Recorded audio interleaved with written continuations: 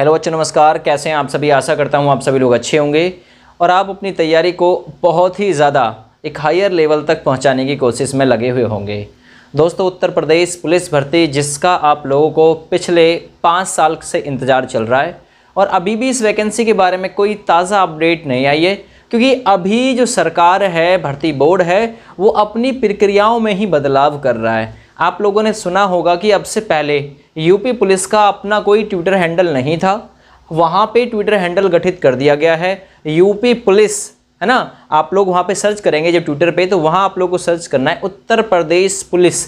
इतना सर्च करोगे, आसानी के साथ में आप लोग देख पाएँगे। नया ट्विटर हैंडल क्रिएट कर लिया गया है, ठीक है? दूसरी चीज़, जो ऑफिशियल वेबसाइट है उत्तर प्रदेश पुलिस की, अब से पहले आप लोग डायरेक्टली यूपी पुलिस की जो वेबसाइट सर्च करते थे तो उसमें आप लोगों को एक ब्लू कलर की वेबसाइट जो है वो शो होती थी। अब मुख्यमंत्री योगी आदित्यनाथ जी के साथ साथ में पाठक जी और जो मतलब ये जो वेबसाइट है, उसे अपग्रेड कर दिया गया है। कहूँ तो टेक्निकली जो इसमें चेंजेस हैं, वो कर दिए गए हैं। तो बदलाव अभी सरकार और भर्ती बोर्ड अपने जो वेबसाइट है, जो सोशल प्लेटफॉर्म है, इनको अपडेट करने में लगे हुए हैं। तो वैकेंसी कब आएगी? देखिए वैकेंसी के लिए जारी होगा कैलेंडर अब ये कैलेंडर की बात तो कैलेंडर में ही आप लोगों का जो एग्ज़ाम है और कैलेंडर में जो आपकी फॉर्म की डेट है, वो फिक्स होके आ जाएँगी। तो सबसे पहली बड़ी चीज़ ये है कि आपका कैलेंडर सबसे पहले जारी हो जाए तो उसमें पूरे साल की जो भर्तियाँ हैं, वो आप लोगों को पता चल जाएँगी। ये सरकार का एक अच्छा कदम है। ट्विटर हैंडल इसलिए बनाया है ताकि आप लोगों में से कोई नकल करता है और आपका कोई निकट संबंधी, यदि जो वहाँ पर वेबसाइट दे रखी है है ना, उस पर अपना जो साक्ष्य है, जो आपने नकल की, उसका साक्ष्य अपलोड कर देता है तो वो डायरेक्टली भर्ती बोर्ड के पास पहुँच जाएगा। और आपकी गोपनीयता, यानी आपकी जो सूचना है, गोपनीयता का बहुत ज़्यादा ध्यान रखा जाएगा। तो सारे डाउट्स आप लोगों के मैंने लिए हैं, इसके लिए चलते हैं मोबाइल की स्क्रीन पे और चल के देखते हैं आप लोगों के क्या क्या डाउट थे और क्या बदलाव कर दिए गए हैं। इसके लिए मोबाइल की स्क्रीन पर चलते हैं। तो चलिए, पहुँचते हैं स्क्रीन पर तो आप लोग गूगल पे सर्च बार में सर्च करिएगा यूपी पुलिस की ऑफिशियल वेबसाइट को U P P B P B dot G O V dot in आप लोग ऐसे सर्च करिए, जैसे यहाँ पे आप लोग को स्क्रीन पे दिखाई दे रहा। है थोड़ा समय आप लोग को वेट करना होगा, क्योंकि भाई ये नेटवर्क का जो इशू है ना, ये बहुत ज़्यादा रहता है। वेबसाइट ओपन हो जाएगी, फिर सरफेस कुछ इस टाइप का आप लोग के सामने खुलेगा, जैसा यहाँ आप लोग के सामने स्क्रीन पे आने वाला है, खुल के। एक सेकंड और वेट करिए।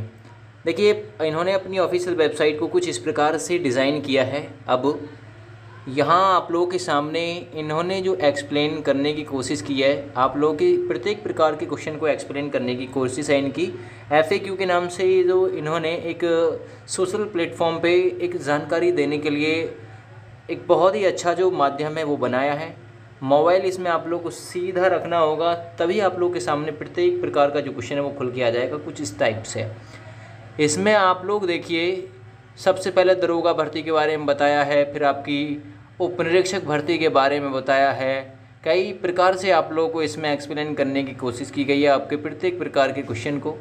ठीक है, आप लोग देखिए, उत्तर प्रदेश पुलिस में विभिन्न पदों पर भर्ती हेतु कैलेंडर कब तक जारी होगा? क्योंकि कैलेंडर इसमें सबसे मेन इंपॉर्टेंट है।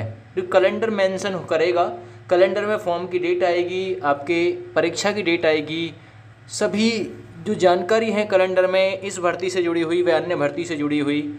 उप निरीक्षक की भर्ती हेतु विज्ञापन, पदों की संख्या, क्योंकि बत्तीस सौ अंठानवे के करीब पद हैं। ठीक है, उनतीस पद इसमें आपके द्वितीय अग्निशमन अधिकारी के भी हैं। तो ये जो सारी चीज़ें यहाँ आप लोगों को बताया गया कि भाई सतत अवलोकन करते रहें, यहाँ यही सारी चीज़ें मेंशन हो जाएँगी। भाई कोरोना काल में जो विगत वर्षों में भर्तियाँ ना आई हैं, उसके कारण आगामी भर्ती में आयु सीमा में छूट मिलेगी, नहीं मिलेगी। पुलिस आरक्षी की जो भर्ती पदों की जो प्रक्रिया है, जिसमें इकतालीस हज़ार सिविल पुलिस के, जो कि अब तक के सबसे ज़्यादा पद हैं। अब से पहले इकतीस हज़ार आए थे, सबसे ज़्यादा पद है अब की बार, है ना? इकतीस हज़ार आए थे सिविल पुलिस के, अठारह हज़ार पी की आई थी, उनचास पाँच सौ अड़सठ में। इसमें पीएससी के दस हज़ार नौ सौ चौरासी पद हैं, फायरमैन के एक हज़ार सात, जेल वार्डन के अट्ठाईस सौ तैंतीस पद हैं और आरक्षी विशेष सुरक्षा के तेरह सौ इकतालीस पद महिला बटालियन हेतु जो बनाए गए हैं, महिला की जो बटालियन बनेगी, उसके लिए सात सौ इकसठ पदों पर भर्ती की जाएगी। इसके लिए अधियाचन भर्ती बोर्ड को प्राप्त हो चुका है। ठीक है ना?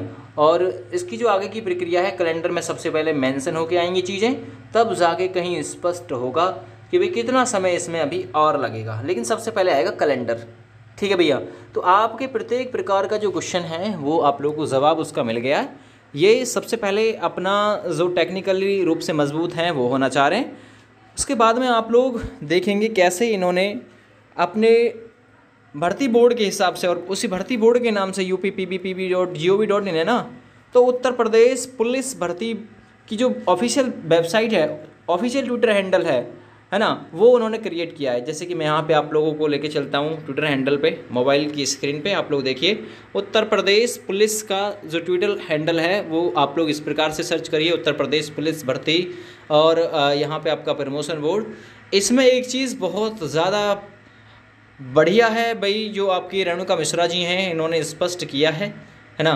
कि जैसे ही कोई आप लोगों को जो भर्ती की प्रक्रिया होती है, इसमें सुचिता से सेंध करने या इसके लिए प्रयास कोई करता है, सॉल्वर गैंग कोई सक्रिय रहता है, पेशेवर नकलची कोई है जो नकल का ठेका लेता है, इस प्रकार से कदाचार आदि से संबंधित सूचना को पुष्टिकारक साक्ष्य के विवरण के साथ, है ना? सतर्कता dot police board at the rate Gmail dot com पर आप लोग भेजें।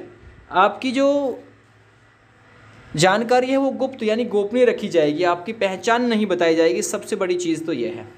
तो ऐसा कोई नकलची यदि आप लोगों को दिखाई देता है तो आप लोग बिल्कुल उसे अरेस्ट करा सकते हैं। कोई दिक्कत वाली बात नहीं होने वाली। तो इसमें उत्तर प्रदेश पुलिस में आप लोगों के लिए अट्ठावन सात सौ सैंतीस पदों पर भर्ती आएगी, जो कि अपने आप में और अब तक की इतिहास की सबसे बड़ी भर्ती होगी उत्तर प्रदेश पुलिस के इतिहास से देखा जाए तो। बढ़िया है भाई, बहुत जल्दी से जल्दी आ जाए और आप लोगों को एस आई की भर्ती के बारे में भी स्पष्ट किया गया है कि भाई, हो सकता है कि एस आई की भर्ती पहले आए, हो सकता है कांस्टेबल की पहले आए, लेकिन चांस जो है वो कांस्टेबल वाले के पहले आने के हैं एस आई वाले के बाद में आने के हैं। तो सारे सवालों के आप लोगों तक सटीक जवाब पहुँच चुके हैं। अगर आप लोग चैनल पर पहली बार आए हैं तो चैनल को सब्सक्राइब कर लें, वीडियो को लाइक कर दें शेयर कर दें। थैंक यू बाय जय हिंद।